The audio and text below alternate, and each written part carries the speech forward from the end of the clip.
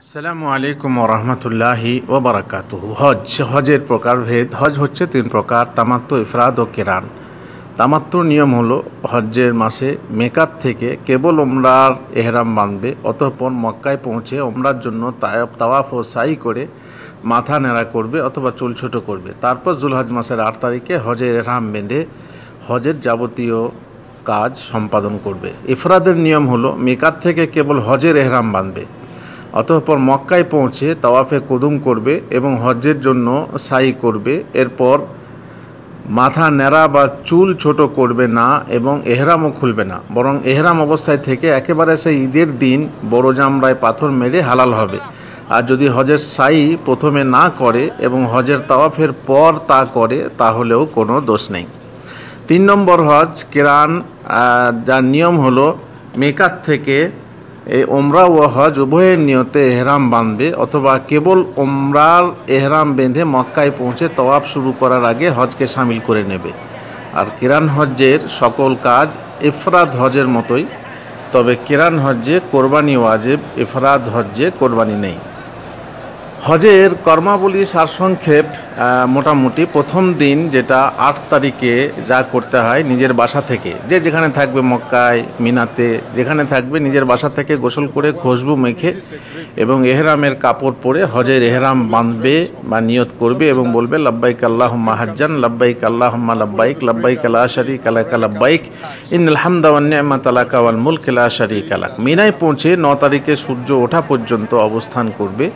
এবং সেখানে আট তারিখে আট তারিখে জোহর, আসর, মাগরিব ও এশা।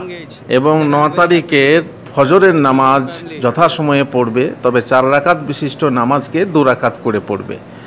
দ্বিতীয় দিন, অর্থাৎ ন তারিখে করণীয়, যাকে আরাফাতের দিন বলে। সূর্য ওঠার পর আরাফাতে রওনা হবে। সেখানে জোহর ও আসরকে কসর ও জমা তাকদিম করে দুরাকাত করে জোহরের সময়ে পড়বে। সূর্য ঢলার আগে সম্ভব হলে নামেরা উপত্যকায় কিছু কাল অবস্থান করবে।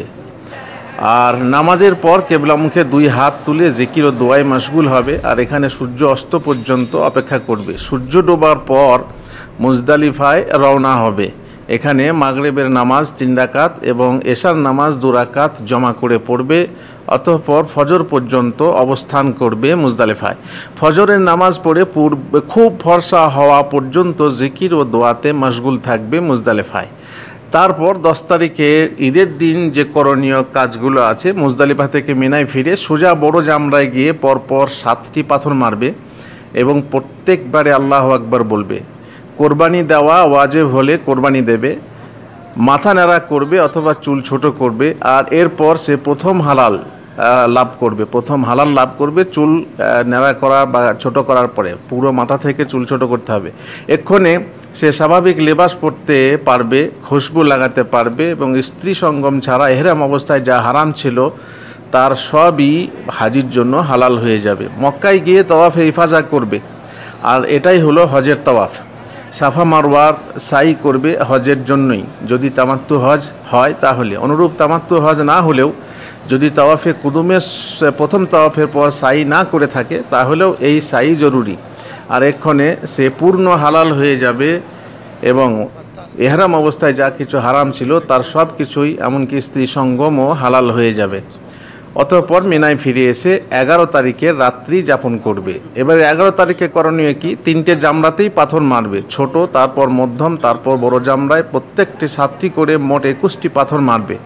এবং প্রত্যেক পাথরের সাথে আল্লাহ আকবর বলবে। পাথর মারার সময় শুরু হবে সূর্য ঢলার পর থেকে। পাথর মারার সময় শুরু হবে সূর্য ঢলার পর থেকে। অবশ্য বর্তমানে ফতোয়া আছে যে সূর্য ঢলার সূর্য ঢলার আগেও মারা যাবে।